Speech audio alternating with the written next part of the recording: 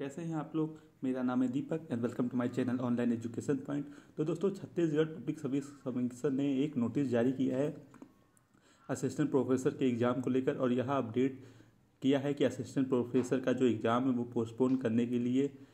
तो चलिए आप देख लेते हैं इसका ऑफिशियल नोटिफिकेशन तो दोस्तों नोटिफिकेशन आप सी जी पी एस सी की ऑफिशियल वेबसाइट पर भी देख सकते हैं। तो दोस्तों ये official notification C G P S C की ओर से जारी किया गया है और यह तीस मार्च 2020 को आया है। तो चलिए अब इसका हम पूरा नोटिफिकेशन देख लेते हैं।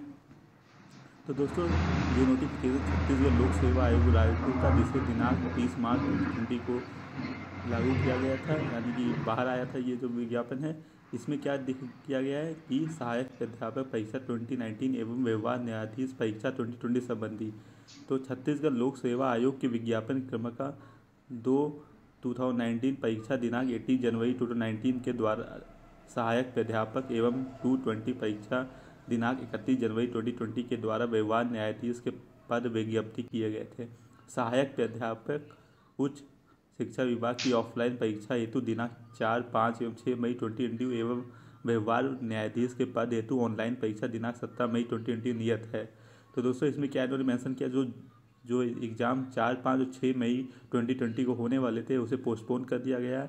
वहीं पर जो व्यवहार न्यायाधीश के पद हेतु जो ऑनलाइन परीक्षा होने वाली थी, जो सेवनटीन मई ट्वेंटी ट्वेंटी को होने वाली थी, उसे भी पोस्टपोन कर दिया गया है। आशा करता हूँ ये जो नोटिस है, आप सबको मिल चुका होगा। पर नोवल कोरोना वायरस के ट्रांसमिशन को ध्यान में रख के एग्ज़ाम को आगे बढ़ा दिया गया है। और इसके साथ साथ अभी कोई भी न्यूज़ कोई भी न्यू डेट अनाउंस नहीं किया गया है।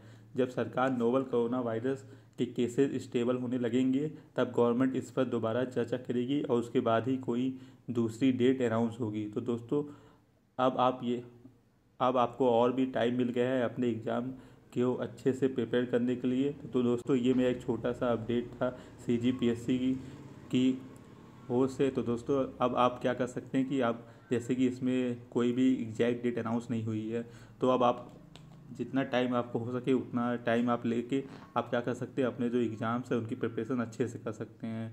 तो दोस्तों, बिना टाइम वेस्ट करें आप क्या करिए, अपना जो एग्ज़ाम की प्रिपरेशन है, वो स्टार्ट कर दीजिए, ताकि जब भी इसकी जो ऑफिशियल जो एग्ज़ाम डेट अनाउंस होगी, तब तक आप अपनी जो प्रिपरेशन है, वो कंप्लीट कर चुके होंगे।